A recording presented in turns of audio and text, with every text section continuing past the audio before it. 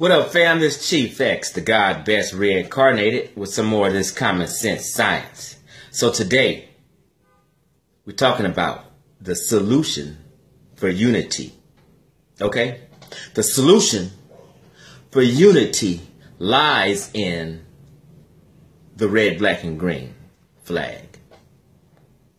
Because it's a social political movement. The red, black, and green. I'm a Garveyite. Marcus Garvey was a Christian. It's okay. We embrace him for his spirit, not his theological ideology. We embrace Dr. Khalid Muhammad for his spirit, not his theological ideology. Okay? Now, the reason why I say the solution is in the red, black, and green is because Marcus Garvey gave that flag to us, those colors to us, because we didn't know exactly what tribe or country that we descend from. So it's like our de facto flag and colors to represent as a people, as African Americans, Black Americans. Okay? And we should utilize it.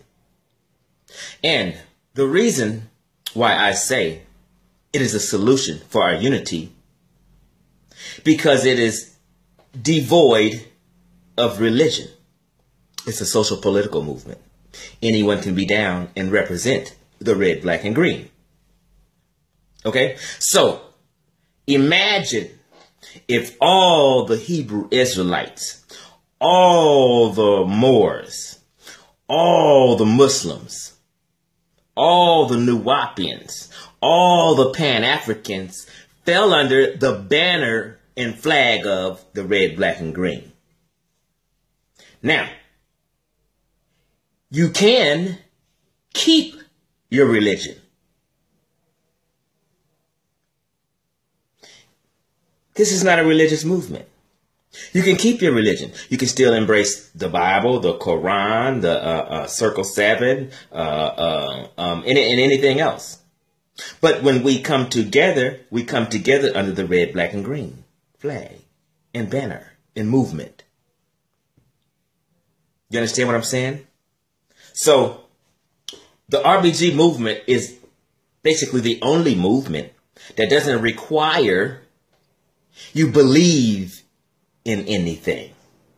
It's a social political movement for progress. Okay? Now, when I watch sports, specifically block boxing or combat sports, if a guy from the Ukraine comes into the ring, he comes into the ring to do battle. And he brings his Ukrainian flag in colors to represent. Whether you're from Puerto Rico fighting, you come in the ring with the Puerto Rican flag representing your bloodline, not specifically the country. These cats do it representing their bloodline and heritage. Whether you're from Mexico, Puerto Rico, uh, uh, um, the Ukraine, Russia, Kazakhstan, Pakistan, any of the stans, any country, they come into the ring when they do battle representing their flag and their bloodline. We are the only people who don't do that. Now, some say, hey, you can come in with the American flag. Okay, I watched the UFC last night fights. They fought in Brazil. The event took place in Brazil. And when these white guys stepped into the octagon, the cage, they had the American flag wrapped, wrapped around them. A lot of them was military. Okay? And they had that American flag because it was representing their people and their bloodline. We're the only people who don't do that. Wherever we go and wherever we represent, we're supposed to represent under the red, black, and green. Moors can represent under the red, black, and green and still consider themselves Moorish American. It, it, it stops nothing. The Hebrews can do that and still represent the Star of David or whatever they represent. It doesn't stop that. You can keep your religion. We need to join under the banner of the red, black, and green. It is the only way, only solution to unity. we fall in line together.